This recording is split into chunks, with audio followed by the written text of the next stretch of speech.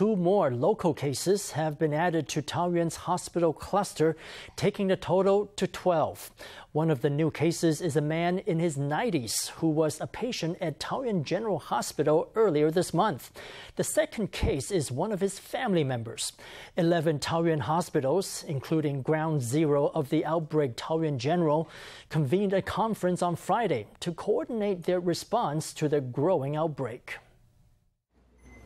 With the hospital cluster growing, the premier went down to Taoyuan on Friday. He and Taoyuan Mayor Cheng Wen-tsan joined a conference on COVID prevention within hospitals. Today, there is a meeting of 11 Taoyuan hospitals about pandemic response measures, so I've rushed here to attend. In a moment here, I will deliver my message of encouragement and I will hear everyone's reports. Via video conference, Su and Zheng spoke with staff at Taoyuan General Hospital who reported on the unfolding situation. We've conducted isolation and triage measures to handle the other patients. We're having staff isolate at home if they need to, and to conduct self health management if they need to. After the hospital was cleared out, there were patients who remained, a total of 217 people. The isolation and triage measures have been handled very well. Staff morale is currently very good. Due to its international airport, Taoyuan has been on the front line of COVID for a year. Following the hospital outbreak, some Panblue local leaders have issued travel advisories against Taoyuan. On Friday, Mayor Cheng and Premier Su called for the nation to rally behind the city.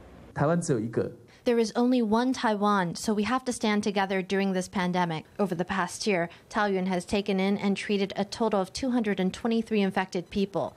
That accounts for 25.7% of all cases nationwide. Our colleagues could say they're under great pressure in fighting this pandemic. Their responsibility is very great, but they have not complained.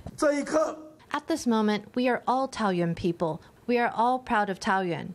All of us nationwide are united in this effort. We will defend Taoyuan to protect Taiwan. We will not draw distinctions to divide ourselves. KMT Chairman Johnny Chiang said it was the Defense Ministry that first issued a Taoyuan travel ban. In response, the ministry said soldiers were a special case, as they lived in close quarters where COVID could rapidly spread.